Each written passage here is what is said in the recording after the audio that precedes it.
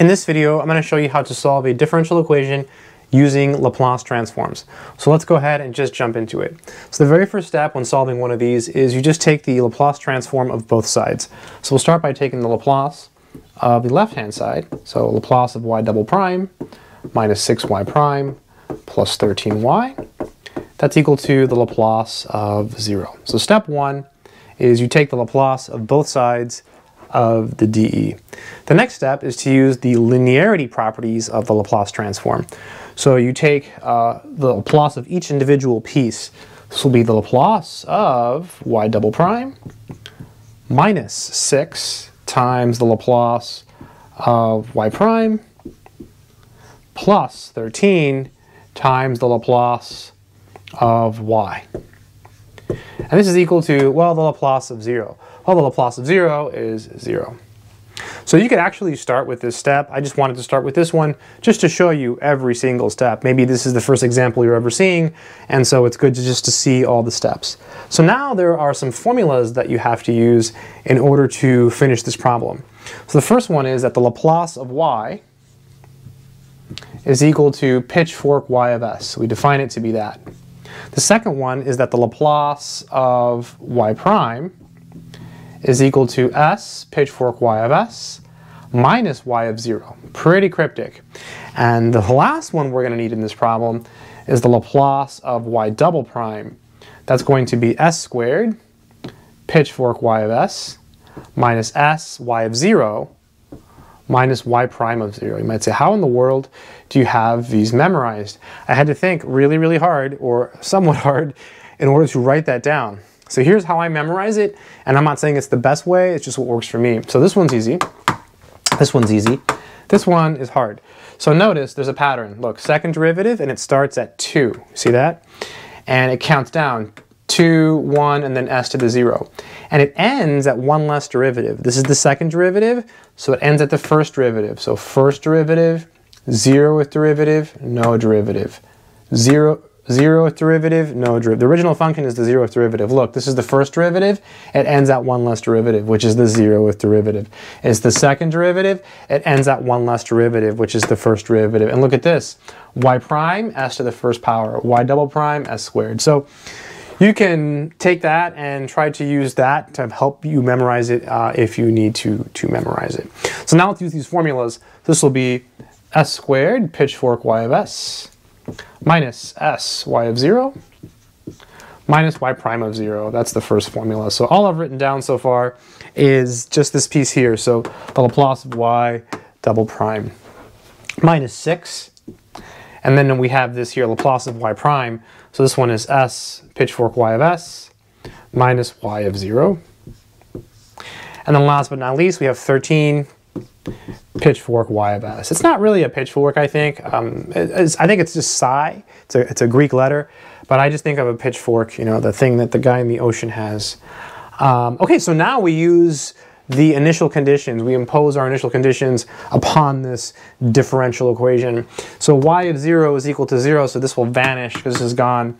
So we have s squared pitchfork y of s. This is 0 y prime of 0 is, no, it's negative 7. Very easy to mess up. There's already a negative here, so it'll become a plus 7. And then let's go ahead and distribute this. So this was 0. This was negative 7, so it became a plus 7. Minus 6s, pitchfork y of s. This is gone, so that's good. So when we multiply, it goes away because this is 0. And then plus 13, pitchfork y of s. And this is equal to 0. Okay, so now we have to solve for pitchfork y. So um, let's go ahead and do that. So I can we can factor out a pitchfork y of s. And we're left with s squared. So s squared minus 6s plus 13. And this is equal to, well, you just subtract the 7. Good stuff. All right. I don't know why I put the 7 up there so high. So that's where we are. Okay, so now we just have to divide by this. So I'm going to I'm gonna come up here and erase what we have. And I'll write it up here. So pitchfork y of s is equal to negative 7 over this stuff here, s squared minus 6s plus 13. I'm going to go ahead and erase this as well. So what did we do? Well, basically we're trying to solve a differential equation. We're trying to, to find y. So we took the Laplace transform of both sides, we used those formulas, and we solved for pitchfork y. Why did we do that? Well, pitchfork y is something special. Pitchfork y is the Laplace of little y. So the Laplace of little y takes y and sends it to this function. So the inverse Laplace takes this function and sends it back to y. In other words, if we find the inverse Laplace of this, we're going to end up with the solution to the differential equation, which is y. Again, the Laplace takes y and sends it to this. So the inverse Laplace has to take this and send it back to y. So to find the answer, we just have to find the inverse Laplace of this. There's a trick to do that. Whenever you have a quadratic on the bottom, and you're trying to find the inverse Laplace, always try to factor first.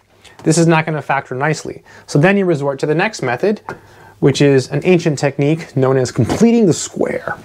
So s squared minus 6s, and we're pros here. To complete the square, you take this, divide it by 2, and square it. So I'll do it down here. Negative 6 over 2 is negative 3. Negative 3 squared is 9. Boom. So you want to put a 9 here.